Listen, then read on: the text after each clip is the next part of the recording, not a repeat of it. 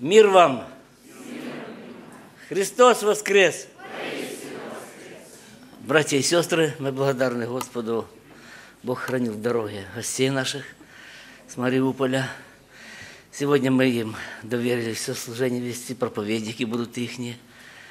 Мы будем петь с ними, молиться с ними будем и благословим потом их в обратный путь.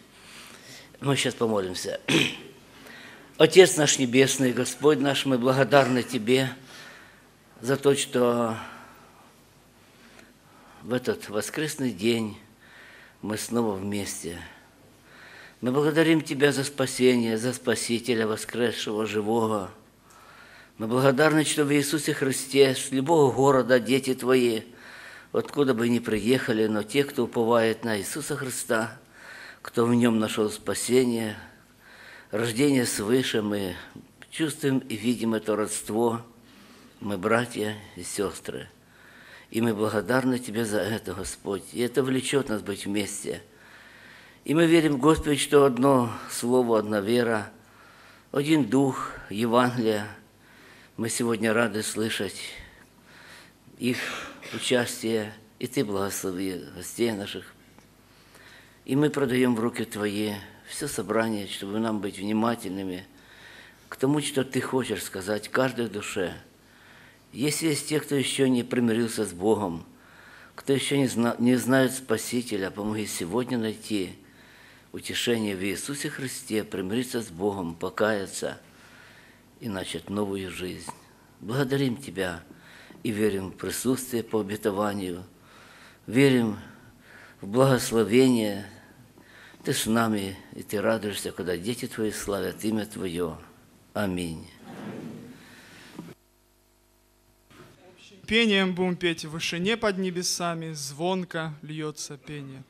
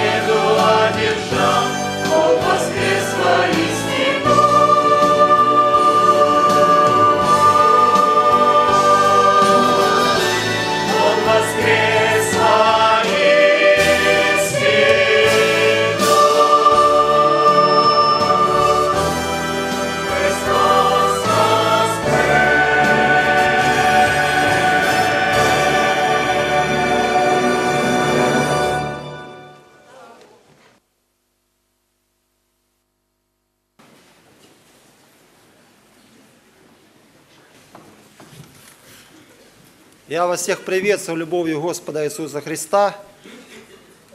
В этот замечательный день воскресенья хотелось вас поприветствовать с города Мариуполя. Христос воскрес! Христос воскрес! Христос воскрес! Присаживайтесь. Слава Богу, действительно, что Христос воскрес. Мне хотелось говорить с вами на такую тему «Пасха наша Христос». Для начала мы прочитаем два места Священного Писания и немного порассуждаем. Первое место, 1 Коринфянам, 5 глава, 7 стих, второй полустишье. «Ибо Пасха наша Христос, заклан за нас». И второе место, Луки, 24 глава, с 1 по 6 стих. В первый же день недели, очень рано, неся приготовленные ароматы, пришли они к гробу, и вместе с ними некоторые другие, но нашли камень отваленный от гроба, и вошедшие не нашли тело Господа Иисуса. Когда же они не домывали о сем, вдруг предстал пред ними два мужа в одеждах блистающих, и когда они были еще в страхе, наклонили лица свои к земле и сказали им, что вы ищете живого между мертвым? Его нет здесь, он воскрес. До сего момента.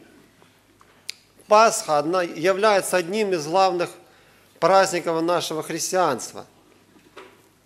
История праздника Пасхи уходит далеко в Египет. Израильский народ был освобожден Богом. И евреям, чтобы спастись, надо было принести акция. Это был прообраз акция, которого был заклан за нас, Иисус Христос. И те люди, кто не принял э, не принес акция и не помазал косяки дверей, когда ангел-губитель шел, и мы знаем, что египтяне, они были первенцы все уничтожены. А евреи, которые, они были спасены, оправданы, потому что они помазали косяки дверей. И Бог их оправдал. Вот действительно, Агнец – это э, мы Ему возносим хвалу и славу. Мы благодарны за искупительную жертву. Насколько мы понимаем праздник Пасхи, это настолько и зависит наше христианство. Если мы э, понимаем Пасху и воскресенье на 5%, то и наша эффективность примерно на, столько же, на 5%. Мы празднуем как бы два праздника, Пасху и воскресенье. Это оправдание и жертва, да? Сразу была жертва, а после оправдания и воскресенье. Мы знаем, что действительно, если бы не было этих праздников, не было смысла христианства. Потому что на этом зиждется, есть, который противостоит этому, это сатана – два праздника основных, которые это Рождество и Пасха. И все люди празднуют, все христианство празднует эти праздники. И вот действительно хотелось, чтобы Бог дал нам понимание этого праздника, праздника Пасхи. И чтобы Бог укрепил и дал нам суть понимания воскресения и возрождения – Многие, мы не хотим уподобляться многим людям мира сего, которые не понимают сути праздника этого Пасхи. Для них это развлечение, выпивка и не суть этого праздника. А хотелось, чтобы Пасха был Христос, заклан за нас. Это любовь Его к нам проявлена на деле. Пасха является доказательством Его любви к нам – мы сейчас будем молиться скоро. И вот действительно обращаться к Богу и благодарить Его за то, что Он дал нам силу противостоять козням дьявольским. Он извлек нас из иго рабства. Мы были некогда тоже под порабощением, да, иго рабства, но Бог искупил нас жертвой Иисуса Христа. Мы скажем Ему и признаемся Ему любви, признаем Его своим царем. Мы признаем Его своим царем. Мы прославим Его в наших молитвах и воздадим Ему хвалу и славу за то, что действительно Он сделал нас сынами и дочерями, мы Его дети. Мы прославим Его великое достопримечательное имя.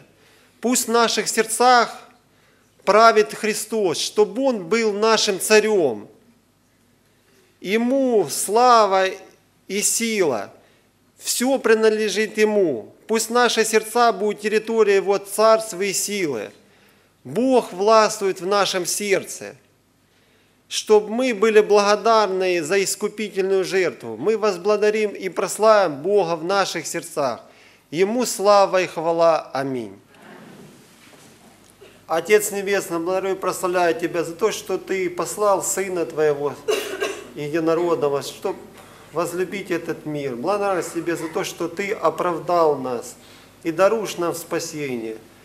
Прибудь с нами, да будет наша жизнь угодна Твоей воле. Аминь.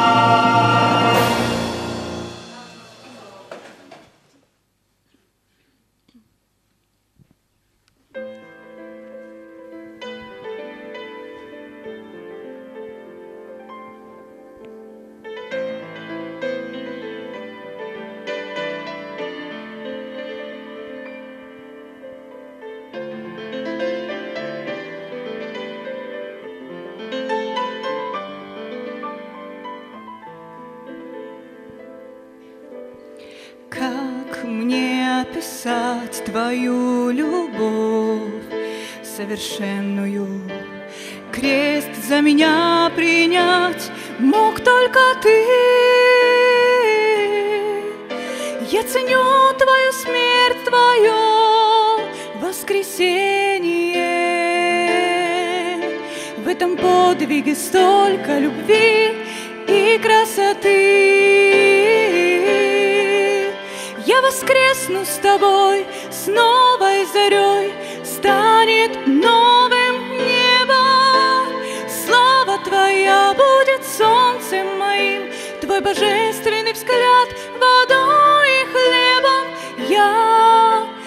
воскресну с тобой. Ты, владыка всего, имя Твое в веках и народах. Сущий Бог Савов, начало, конец. В Твоем имени столько любви и свободы. Запутанных цепью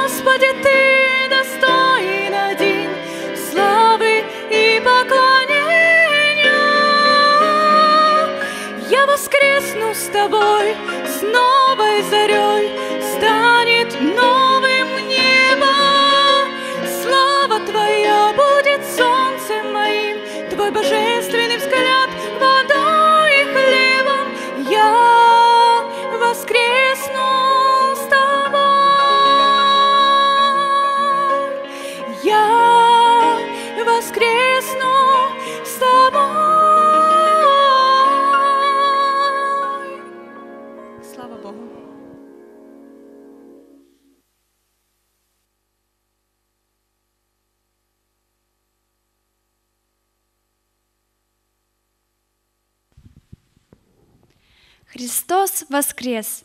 Ликуйте все народы! Расторгнут ад, и смерть побеждена. Христос воскрес! Вещают небосводы. Он жив, и этим радость нам дана. Христос воскрес! Хваления песни льются. Звучит в деревнях, городах. Во все концы земли та весть несется Через века, столетия и года. Та весть, что всколыхнула мир тогдашний, В сердцах спасенных верою живет. И с воскресением мрак ночи вчерашний Исчез навеки, и душа поет. Никто не может уничтожить веру, Что Он живой, что есть и что грядет. Христос воскрес, нам радость дал без меры, Ее никто у нас не заберет. Отвален камень, мрака и сомнения Уж больше нет, свет свыше воссиял. Христос разрушил узы тления, И им навек оправдан ты и я. Ликуйте в радости сердца спасенных, Псалом воспойте, возвещая весть. Христос лучами славы озаренный, Смерть победил, восстал, Христос воскрес. Слава Богу.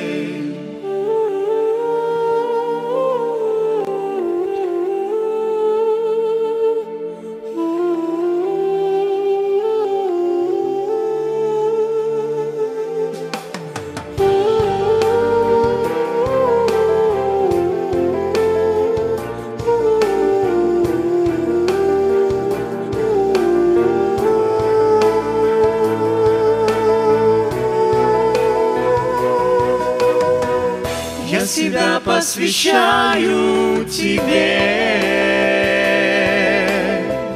Ты достоин величия и славы. Жизнь свою я вручаю тебе. Забери мою душу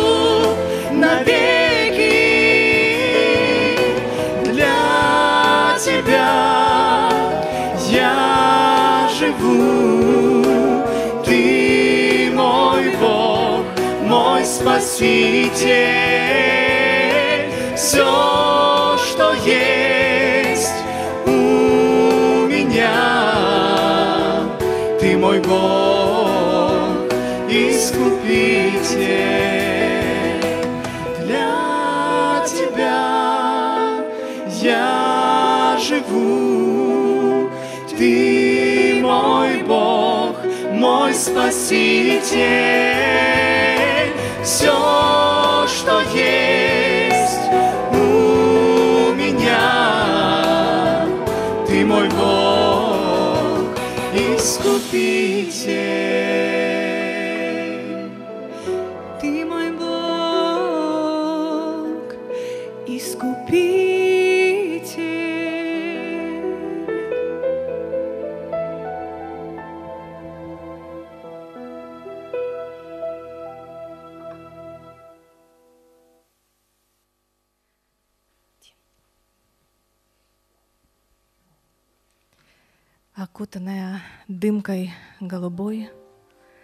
Земля в космическом просторе.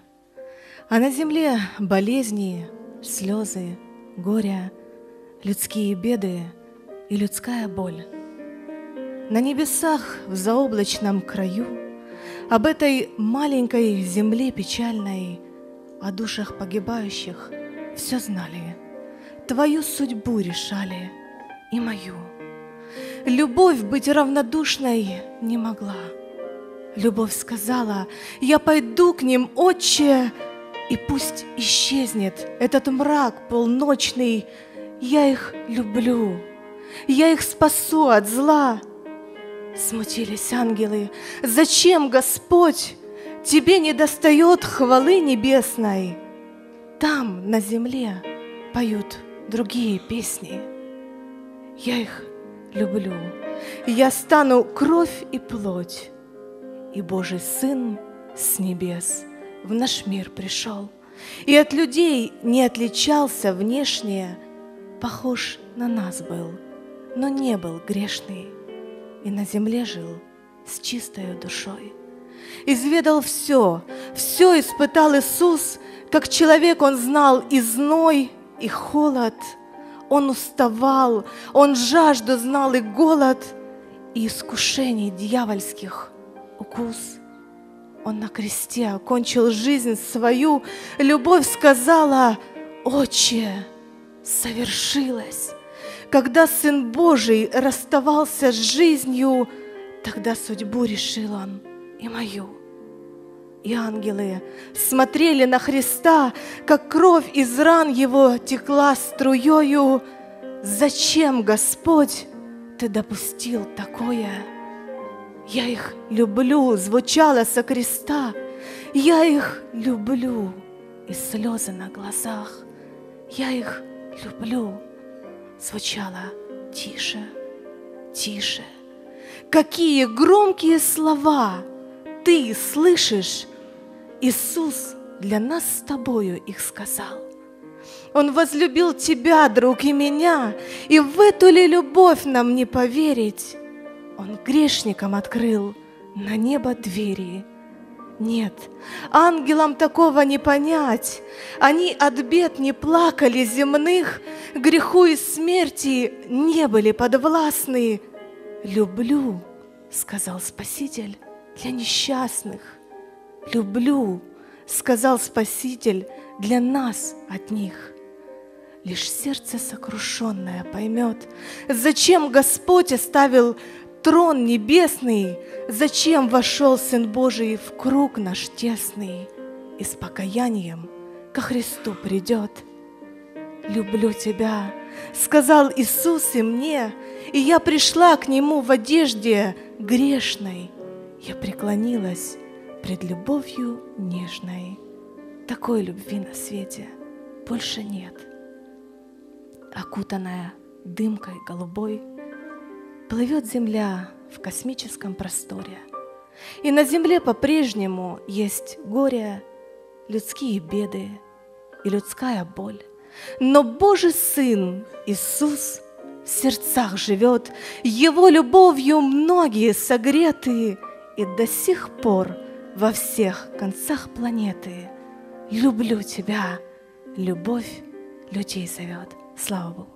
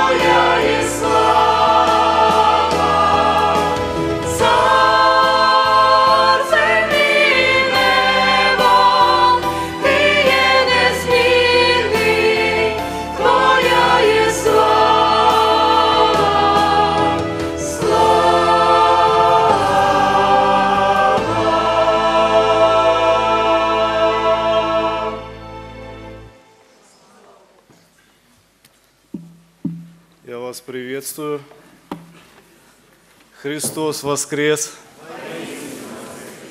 Присаживайтесь.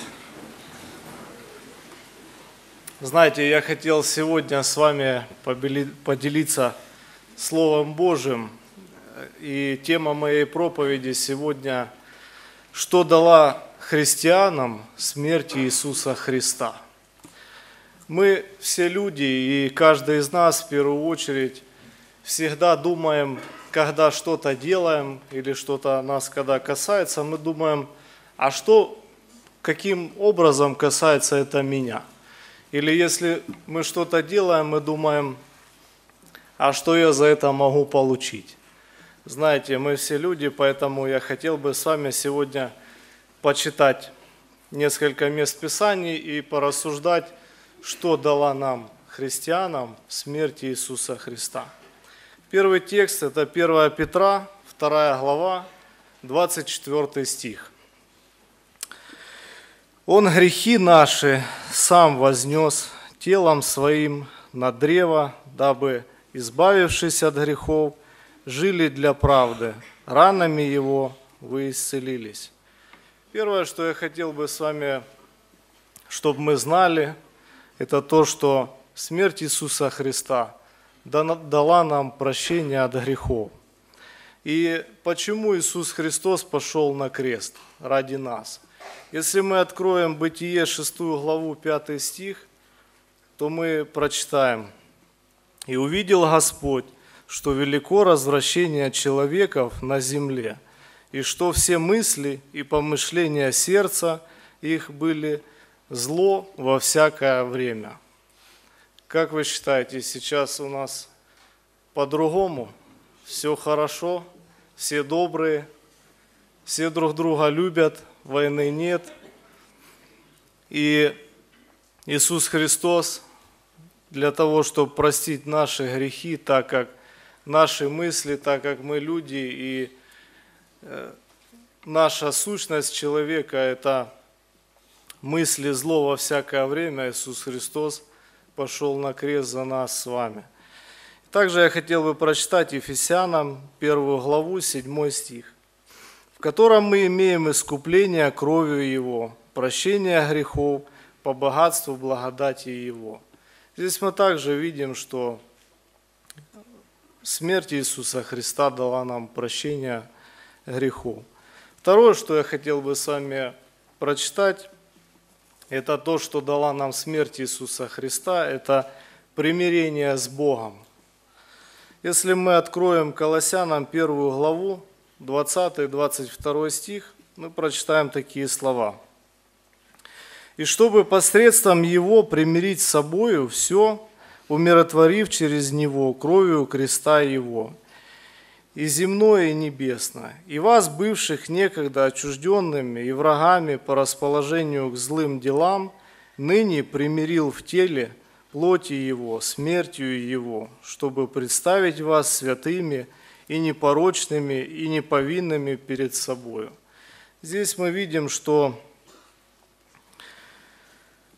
так как мы злые и дела наши злые, Иисус Христос умер для того, чтобы примирить нас с Богом Отцом. И также Римлянам 8 глава, 32 стих, 33 мы прочитаем. «Тот, который Сына Своего не пощадил, но предал Его за всех нас, как с Ним не дарует нам и всего. Кто будет обвинять избран, избранных Божьих? Бог оправдывает их». Здесь мы видим, что Господь отдал Сына Своего для того, чтобы примирить нас с Ним. Третье, что я хотел бы, чтобы мы прочитали и знали, что дала нам смерть Иисуса Христа, это искупление от клятвы закона. Давайте откроем Галатам 3 глава с 13 по 19 стих и прочитаем несколько стихов. Христос искупил нас от клятвы закона, сделавшись за нас клятвою, ибо написано – проклят всякий, висящий на древе, дабы благословение Авраамова через Христа Иисуса распространилось на язычников, чтобы нам получить обещанного Духа верой. Братья, говорю по рассуждению человеческому, даже человеком утвержденного завещания никто не отменяет и не прибавляет к нему. Но Аврааму даны были обетования, и семени его – не сказано, и потомкам, как бы о многих, но как об одном, и семени Твоему, которое есть Христос. Я говорю то, что завета о Христе, прежде Богом утвержденного, закон, явившийся спустя через 430 лет, не отменяет так, чтобы обетование потеряло силу. Ибо если по закону наследства, то и уже не по обетованию, но Аврааму Бог даровал он по обетованию. Здесь мы видим, что Господь давал закон определенному народу, Аврааму, евреям. И мы в Библии также часто встречаем такие слова «Бог Израилев». На тот момент Бог считался Бог Израилев. Но смерть Иисуса Христа дала нам возможность говорить, что Бог – это наш Бог. Иисус Христос – наш Бог, Он умер за нас. И смерть Иисуса Христа нас освободила от клятвы закона. И четвертое, что я хотел бы, чтобы мы с вами еще прочитали, чтобы вас сильно не утомлять, это Иоанна 3 глава, 16 стих. «Ибо так возлюбил Бог мир – что отдал Сына Своего Единородного, дабы всякий верующий в Него не погиб, но имел жизнь вечную. Четвертое, что я хотел бы, чтобы мы знали, я думаю, что мы это знаем, это то, что смерть Иисуса Христа дала нам возможность иметь жизнь вечную. И также мы, если откроем Иоанна 16, 6 главу, 47 стих, мы увидим такие слова – Истина, истина говорю вам, верующий в Меня имеет жизнь вечную. Итак, мы видим только несколько моментов, которые мы получили благодаря того, что Иисус Христос пошел за нас, за меня, за каждого из вас на крест и умер для того, чтобы мы имели жизнь вечную, прощение грехов. И хотел бы еще напоследок прочитать вам несколько стишков для нашего с вами ободрения. Матфея 25 глава, 34 стих. Тогда скажет царь тем, которые по правую сторону его, «Придите, благословенные Отца моего, наследуйте царство, уготованное вам от создания мира». Знаете, и этот стих всем нам, христианам, хорошее ободрение. Здесь мы видим, что «Придите, благословенные, Отца моего, наследуйте царство, уготованное вам». И очень хорошие, прекрасные слова для нас, всех христиан. Я хотел бы, чтобы мы прочитали еще один стишок, который немножко ниже. Матфея, 25 глава, 34 стих. О, 41 стих, прошу прощения. Также скажет и тем, которые по левую сторону, идите от меня проклятые в огонь вечный, уготованный дьяволу и ангелам его. Тоже серьезные слова. И я хотел бы, чтобы мы, зная, что Иисус Христос приготовил нам вечную жизнь, хотел бы пожелать каждому из вас, чтобы вы не оказались вот этими левыми христианами или прихожанами, которые, когда придут к Господу, чтобы они не услышали такие слова. «Идите от меня, проклятые, в огонь вечный, потому что Господь отдал Сына Своего единственного – за меня, за тебя, за каждого из нас. И часто, знаете, мы можем думать, что у меня бабушка верующая, у меня папа пресвитер, у меня там билет есть. Но мы можем услышать такие слова, как мы только что читали. «Идите от меня, проклятые». Я хотел бы пожелать вам в этот праздник, чтобы мы все оказались правыми христианами и попали туда, где благословенные от Отца моего наследуйте царство, уготованное вам. Аминь.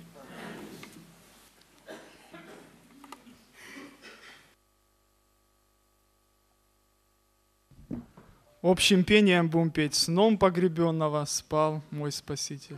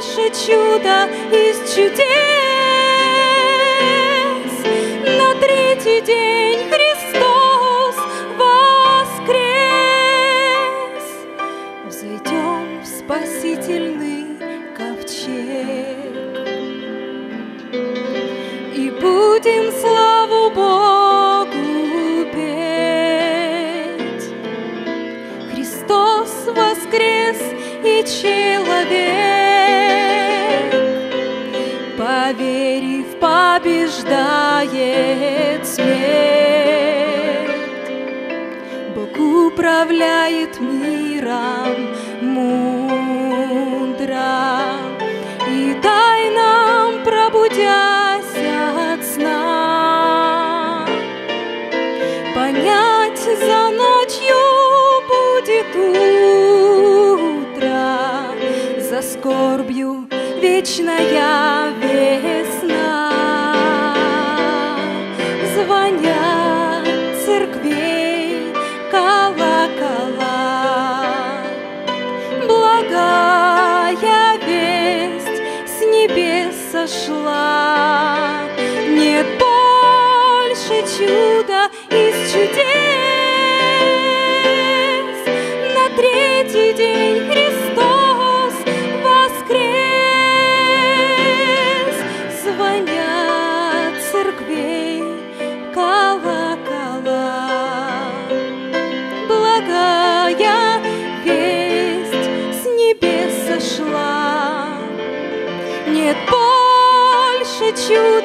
из чудес. На третий день Христос воскрес. Слава Богу. Предрассветная дымка ползла через горы, долины, и в каком-то дворе кукарекнул несмело петух. Птиц не слышно, дремали старинные кедры, маслины, луч надежды, последний, искрящийся, все же потух. Город спал, погруженный в ужасные, тяжкие думы. Тот, кто хлеб им давал, прокаженных, больных исцелял.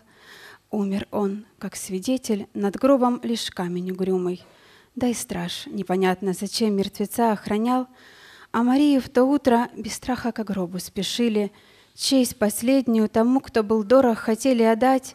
В третий день я воскресну. Об этом они позабыли.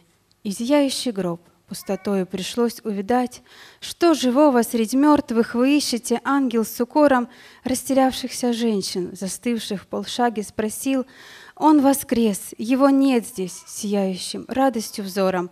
Ангел неба, посланник живущим, всем весь возвестил. Избивая росу, побежали к тем, кто печален. Спотыкаясь на камнях, изранивши ноги свои, он воскрес, это правда, мы видели камень отвален, эта радость росла, разносилась до края земли. Воскрес, он воскрес, Иисуса друзья ликовали, Неужели воскрес? Кипел злостью Рим, Синедрион. Узы смерти Иисуса Христа не сдержали. Он воскрес. Эта весть на земле прозвучала, как хром.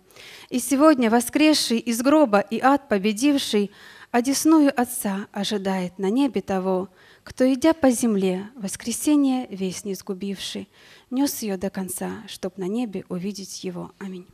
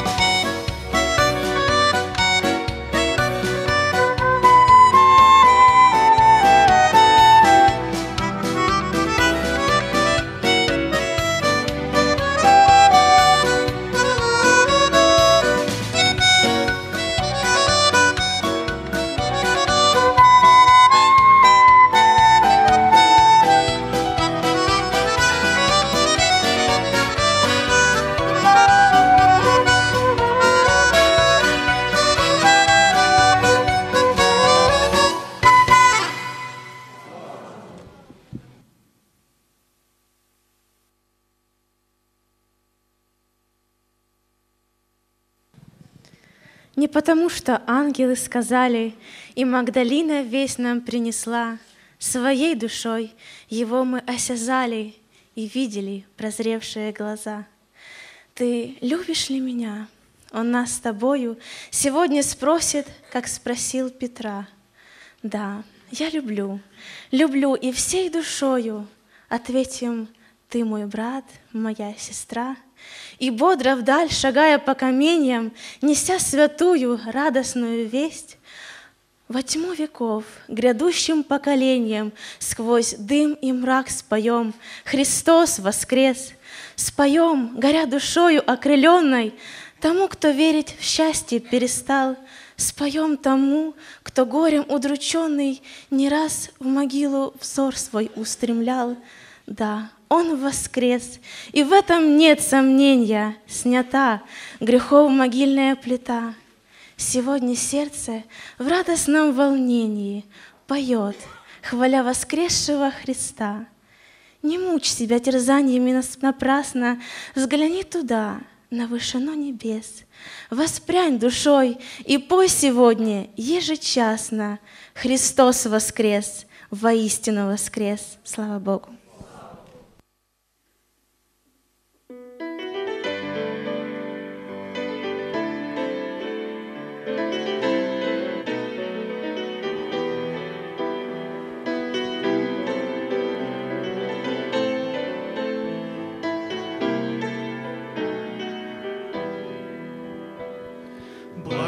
Благодарю, Господь, за хлеб насущный, За лунный свет ночи, за раннюю зарю, За день прошедший и за день грядущий. Тебя, Господь, благодарю. Благодарю Тебя за кровь святую, За то, что Дух Святой во мне теперь живет, даешь без меры воду мне живую. Хвала Тебе, хвала, Господь. Аллилуйя, аллилуйя. Славлю имя я, что всех имен светлей. Пред Тобой склоняюсь я. Ты один достоин быть царем царей. Аллилуйя, аллилуйя. Славлю имя я, что всех имен светлей. Пред тобой склоняюсь я. Ты один достоин быть царем царей.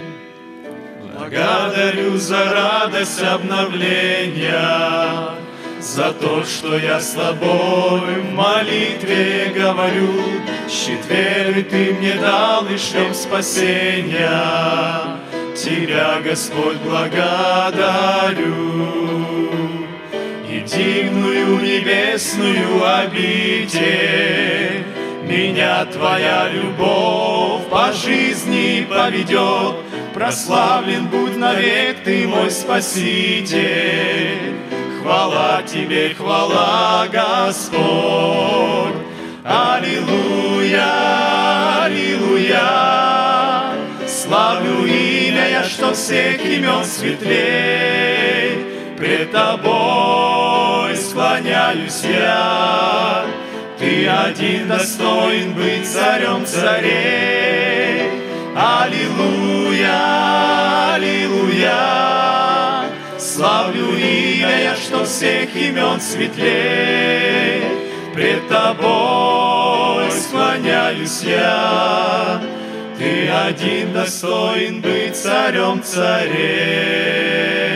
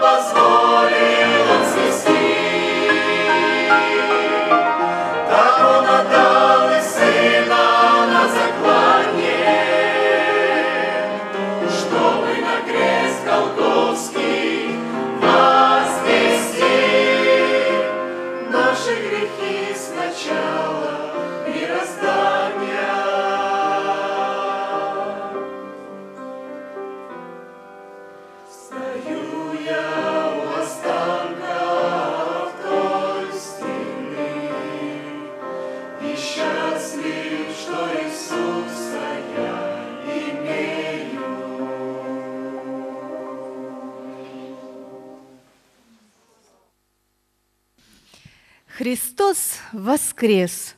И в этих двух словах такая мощь, победа и свобода. Но это может только тот понять, кто сердцем растворился в Слове Бога. Христос воскрес, воскрес, воскрес, ликует сердце, представляя ясно, как это было, как зажегся свет в его учениках, и тьма погасла, как преклонился перед ним Фома, не веря раньше в чудо воскресенья, как в трепете Мария ожила, как Иоанн и Петр пришли в волнение. Воскрес Господь, отвален гроба камень, огромный груз вины упал с моей души, и грех прощен. Иисус сказал, «Я с вами до века окончания во все дни». Я восхищаюсь подвигом любви, и небо торжество в моем спасенном сердце. Оставил нам Христос свои следы, чтоб шли за Ним мы с радостной песней. Сегодня, через много сотен лет, склоняюсь я к Его ногам смиренно, пред взором мысленно Голговский крест и величайшая из всех побед — победа. Слава Богу!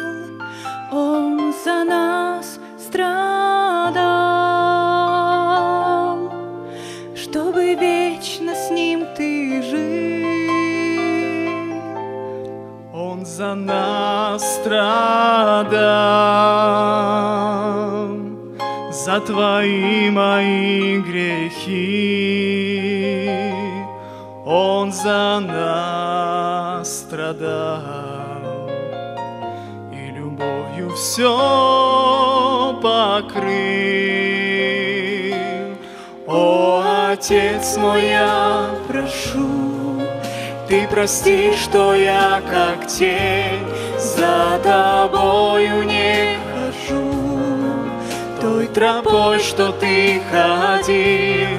О, Отец мой, я прошу, помоги мне так прожить, чтоб в конце пути моем я бы смог глаза смотреть.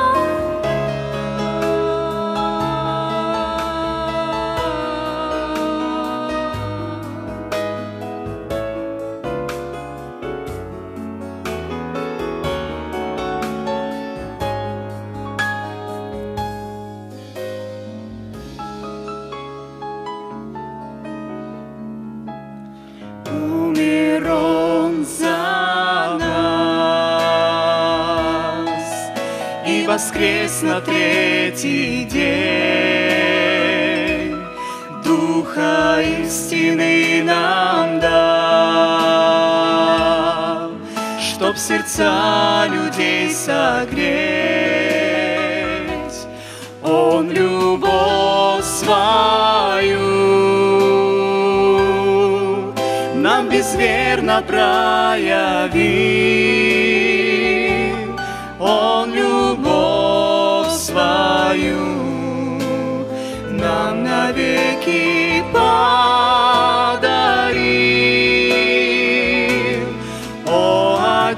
Мой, я прошу, Ты прости, что я как тень за тобою не хожу той тропой, что ты ходил.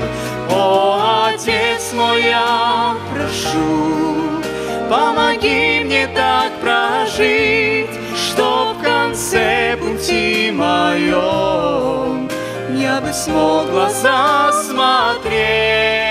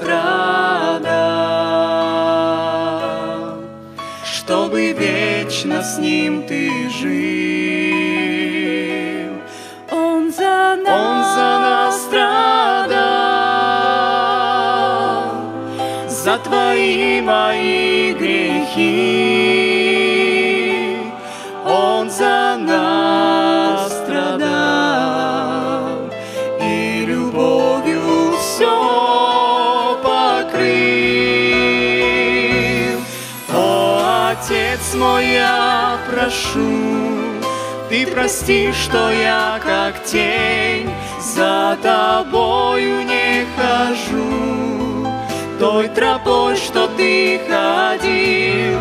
О, Отец мой, я О, Отец, помоги мне так помоги, Чтоб в конце пути моем я бы смог глаза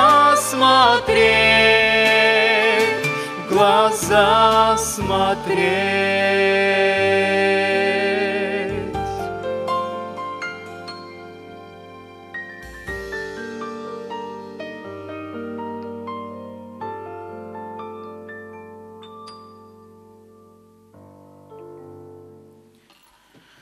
Христос воскрес! Христос воскрес! Христос воскрес! Христос воскрес! И мы воскреснем, друзья, присаживайтесь. Хотелось немножко вас пробудить, а то я вижу, вы заслушались уже. Хорошо очень у вас сидеть на мягких креслах, но надо иногда вставать. Друзья, я рад приветствовать вас сегодня в этом храме, рад вместе с вами воздавать хвалу воскресшему, хвалу тому, кто создал для нас все, что окружает, который не просто создал для нас землю, но еще и благословил нас в вечной жизни. Друзья, вы знаете, сегодня печально видеть людей, идущих на кладбище. Когда мы ехали сюда, проезжали кладбище и видели людей, которые с самого раннего утра идут к земле и костям. Хотя на самом деле воскресший, он ждет, и он жив, и нет нужды в том, чтобы заботиться о тленном. Потому что Господь говорит, прежде всего нужно заботиться о чем? О душе, которая нетленна, правда, друзья? И у нас в городе, не знаю, как у вас, в праздник Пасхи все известные люди, власть имущие, э, стараются как-то обратить на себя внимание, поздравить с этим праздником. И я замечаю, что с каждым годом праздник Пасхи в мировоззрении людей теряет свою суть.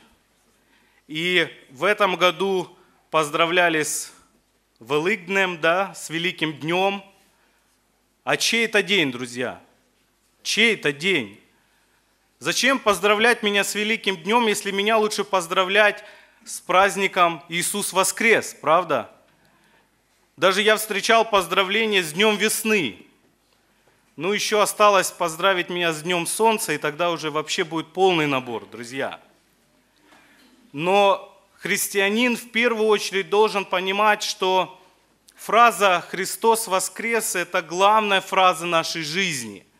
И об этом апостол Павел пишет одной из своих э, тех церквей, к которым он обращался. Я хотел бы с вами поразмышлять в завершении нашего участия, поразмышлять над э, определенным местом из Священного Писания. Это первое послание Коринфянам, 15 глава. Первое послание Коринфянам, 15 глава, будем читать несколько стихов – с первого стиха давайте начнем.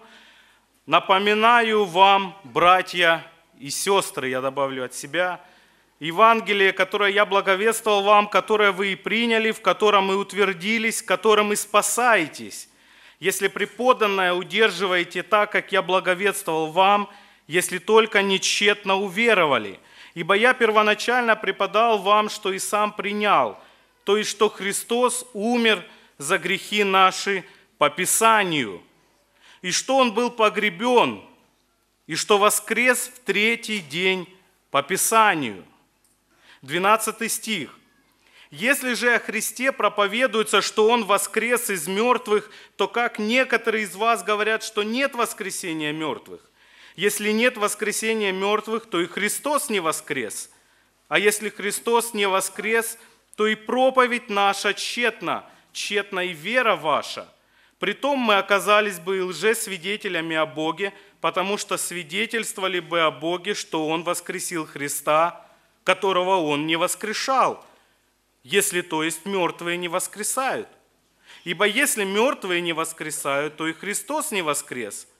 А если Христос не воскрес, то вера ваша тщетна, вы еще во грехах ваших. Поэтому и умершие во Христе погибли – если мы в этой только жизни надеемся на Христа, то мы несчастнее всех человеков. Но Христос воскрес из мертвых, первенец из умерших, ибо как смерть через человека, так через человека и воскресение мертвых. Как водами все умирают, так во Христе все оживут, каждый в своем порядке. Первенец Христос, потом Христовы в пришествии его. Аминь. Дорогие друзья, как я уже и говорил, праздник Пасхи, праздник Воскресения Христова – это самый важный день в христианской жизни. Я удивляюсь, насколько велика любовь Бога к нам, насколько велика Его забота к нам, насколько велика Его милость по отношению к человеку. И, дорогие друзья, все, что связано с Иисусом Христом на этой земле, все это сделано для нас. Праздник Рождества Христова. Я хотел бы, чтобы мы перенеслись в начало жизни Иисуса на этой земле. В преддверии Пасхи я задумался о том, что для кого нужен был вот это Рождество чудесное, для кого это было нужно – Бог мог через пророков предсказать, что Мессия появится из пустыни, и из пустыни появляется уже взрослый Христос и начинает проповедовать Евангелие. Но Христос идет не этим путем. Он идет наиболее чудной возможностью, пользуется, является в виде маленького ребенка для кого, друзья? Для тех пастухов в поле, для Марии и Иосифа – для Иерусалима, которого нужно было пробудить от этой спячки религиозной. Когда пришли мудрецы и сказали, где родившийся царь, написано, весь город пришел в движение. Пастухи, которые сидели на поле, не думали, что они станут свидетелем такого чуда. Они не думали, что они услышат славу на небесах. Они не думали, что они увидят хор ангелов это Рождество было дано для людей. Те годы, которые Иисус Христос провел на этой земле, когда Он ходил вместе с учениками, когда терпел их неверие, когда терпел голод, жажду, когда Он терпел непринятие себя в своей родине, для кого это было нужно? Иисус Христос мог прийти уже взрослым мужчиной, пойти напрямую в Иерусалим, прийти в храм и сказать, я Сын Божий, его обвинили бы в преступлении и распяли. Но он долгие годы ходит, ходит с учениками, рассказывает им, передает им учение, показывает чудеса. Для кого это было нужно, друзья? Для людей. Он это делал для учеников, он это делал для тех церквей, которые появятся впоследствии через труд этих учеников. Он это делал для людей. И когда он умер, его погребли в этой пещере, на следующее утро он продолжает заботиться о нас. Мы читаем в Евангелии, как женщины идут к гробу. Они еще привязаны к земному. Они еще думают о земном. У них одна мысль о теле учителя, о мертвом теле. Они идут туда, куда сегодня идут многие люди. Они идут туда, где погребен их учитель. И на их устах один безнадежный вопрос. Вы помните какой? Кто отвалит нам камень? Кто мог отвалить этот камень? Они задают этот вопрос, и они прекрасно понимают, что никто не может отвалить его.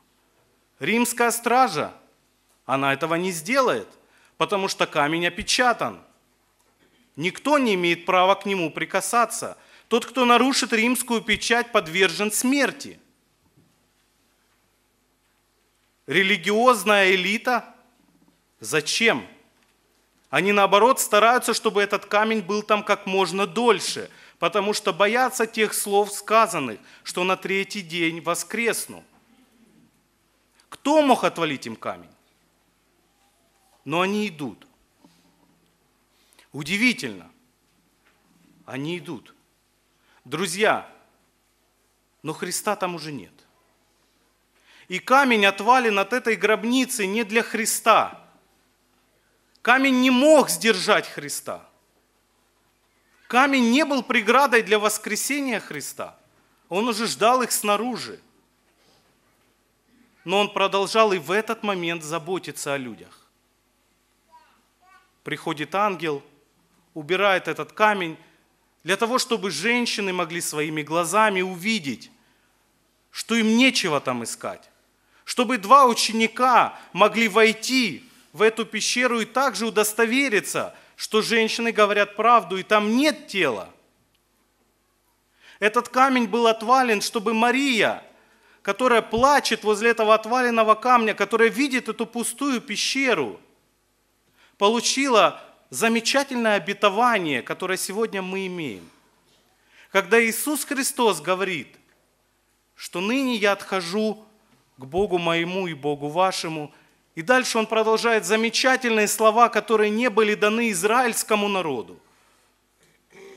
Он говорит, теперь Отцу моему и Отцу вашему. Друзья, воскресение Иисуса Христа вызывает у меня радость, потому что теперь я имею небесного Отца, Бога, Царя, Творца неба и земли, того, кто дыханием вывел на орбиты все звезды, как мы читаем в псалмах. И этот говорит, что я теперь ваш Отец. Друзья, какую привилегию мы имеем? Но это не все, что сделал Христос. Это не все, что сделал Господь. Он продолжает удивлять меня, Он продолжает поражать меня своей заботой обо мне, своей любовью обо мне. Давайте прочитаем в этой же, в 15 главе,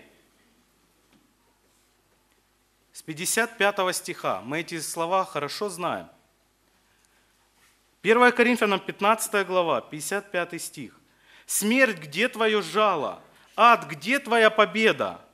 Жало же смерти грех, а сила греха закон. Благодарение Богу, даровавшему нам победу Господом нашим Иисусом Христом». Друзья, Христос не просто воскрес, но Господь подарил нам победу. Господь Иисус Христос победил смерть, тление и грех. И Он говорит, теперь я эту победу дарю вам. Теперь вы имеете ее. Вы победители. Друзья, но что я сделал? Что лично я сделал для этой победы? Ничего. Я со всех сил убегал от Бога.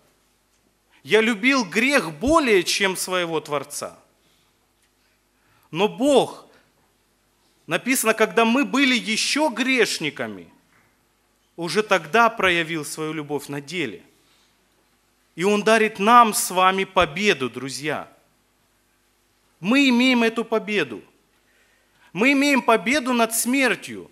И в послании к римлянам апостол говорит, утешайтесь этой надеждой, что вы имеете жизнь вечную, что вот то, что здесь на земле, все неустройства, все проблемы – самые печальные обстоятельства, которые только есть в вашей жизни, это все временно.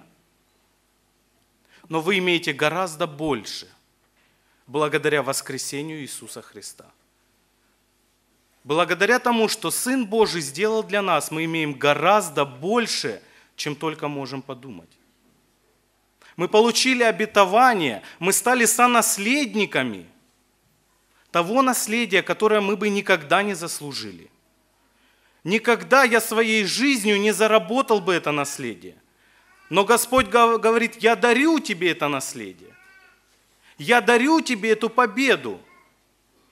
Господь не просто простил наши грехи, не просто оправдал, но Он еще написано усыновил нас, принял в свою семью человека, Создатель, отдавший своего родного Сына за нас с вами – и сегодня это должно вызывать в нас радость и торжество, что мы имеем такого Отца, что мы имеем такого Господа Иисуса Христа, который говорит, приходите ко мне, когда трудности, когда проблемы, но еще лучше, если вы приходите ко мне, когда у вас все хорошо. Потому что Он один достоин славы. Сегодня никто не достоин той славы, которая есть на этой земле. Сегодня вся слава на этой земле принадлежит только Господу Иисусу Христу. И люди иногда сами не понимая, в праздник Пасхи я, когда встречался с, со своими неверующими знакомыми на работе, с кем я работаю, когда говоришь им «Христос воскрес», они не задумываясь отвечают «Воистину воскрес».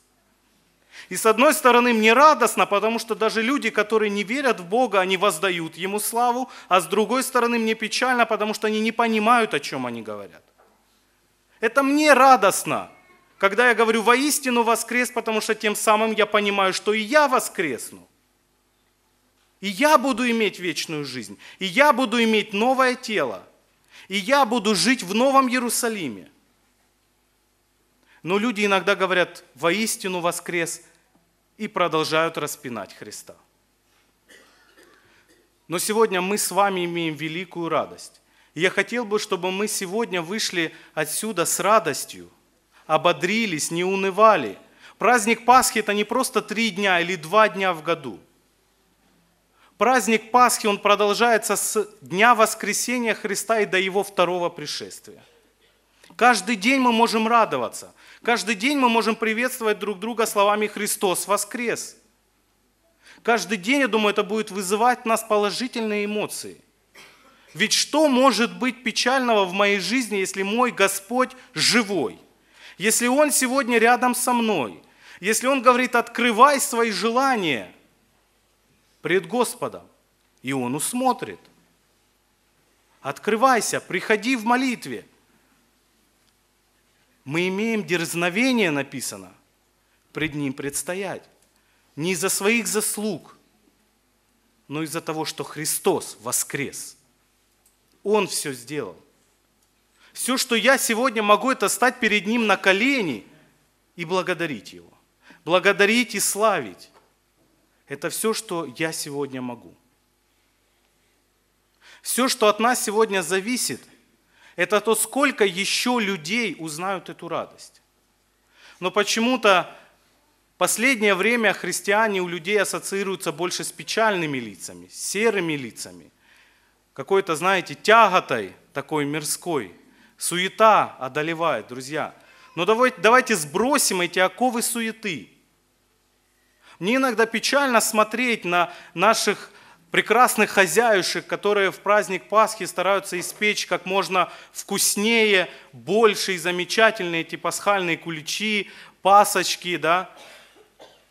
Печально, потому что на это уходит очень много времени. И праздник Пасхи иногда уже и не в радость особо. Потому что за ночь до этого стараются наши сестры, а потом уже какая уже тут и Пасха. А еще рано и в собрание идти нужно. Рядом со мной живут соседи, которые на праздник Пасхи идут ночью в православную церковь. И вы знаете, к чему? К чему люди истязают свое тело в бессмысленных религиозных обрядах, которые для души не несут ничего? Мы можем сегодня тысячи яиц, мы можем сегодня испечь миллион пасок, но это все пустота. Потому что если Иисус Христос не воскрес в моем сердце, если сегодня Он не вошел и не навел там порядок, когда Он вошел в Иерусалим как победитель, как знамение будущих событий, и все, что Он сделал в день своего восшествия в Иерусалим, которое мы недавно отмечали также, написано, Он пришел в храм – осмотрел все, навел там порядок и вышел из Иерусалима. И исцелил еще людей в храме. Друзья, если сегодня в моем сердце не воскрес Христос, если сегодня в моем сердце не живет живой Бог, который действует в моей жизни, если сегодня я не могу сказать, что на этой неделе для меня сделал Иисус, друзья, что на этой неделе для вас сделал Господь? Подумайте. Если вам нечего сказать, то где тогда живой Бог? Разве Он не действует в нашей жизни? Разве Он не помогает нам в ежедневных наших делах?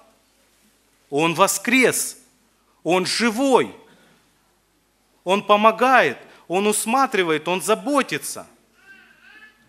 Но мы берем те заботы, которые мы должны возложить на Него, возлагаем на себя – и потом с печальными лицами говорим «Христос воскрес».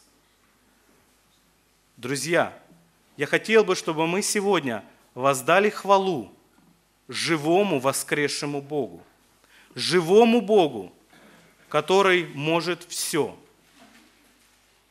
Тот Бог, который еще прежде нашего создания знал нас, который знает каждую нашу волосинку – который любит нас такой любовью, которую невозможно понять, которую невозможно познать. Необъятная любовь Божья. Она не могла удержать Христа в этой пещере. И Он воскрес. Он восстал из мертвых. Явился своим ученикам, которые вернулись к прежнему образу жизни. Он явился им, написано, укорял их за неверие. Друзья, давайте сегодня не допускать этого неверия. Давайте сегодня продолжать верить в живого Бога, который воскрес. И если мы говорим, что Он воистину воскрес, значит у меня должна быть железная надежда и знание того, что и я воскресну. И я предстану пред Ним. И я должен жить так, чтобы ни в коем случае не услышать слова о том, что я ленивый – и неверный раб. Но чтобы наоборот, Христос был рад встрече со мной. Чтобы Он сказал, добрый и верный раб, войди в радость Господина твоего. И если мы говорим сегодня, что у меня есть Господь Иисус Христос, чтобы Он действительно был нашим Господином, чтобы Он действительно был нашим живым Спасителем, искупителем наших грехов, который совершил невероятное который совершил то, что не смог бы совершить ни один человек на земле. И хоть его ученики в день его воскресения назвали его пророком, идя в Имаус, чтобы мы понимали, что он не пророк, он Сын Божий, возлюбивший нас, пострадавший по Писанию и воскресший в третий день по Писанию – Ему же да будет великая слава и хвала из наших сердец во веки веков. Аминь. Помолимся. Отец мой небесный, великий Бог, Царь царей, Господь господствующих, слава и хвала Тебе за Твою великую любовь, милость, за заботу Твою о нас, людях. Я славлю и благодарю Тебя, Господи, за то, что Ты отдал Сына Твоего Единородного на крест. Слава и хвала Тебе, Иисус, что смерть не смогла удержать Тебя, и Ты на третий день воскрес по Писанию – я славлю и хвалю Тебя, Господи. Слава Тебе за то, что сегодня я имею живого Спасителя, который прощает мои грехи, оправдывает и усыновляет. Слава Тебе, Господи. Я прошу сегодня, Господь, осмотри наши сердца, убери суету и посели великую радость о том, что мы имеем Небесного Отца, мы имеем великого Бога, который совершил все для нашего спасения – Тебе же да будет хвала и слава, великий Бог, Отец, Сын и Дух Святой. Аминь. Мы поучаствуем в Христос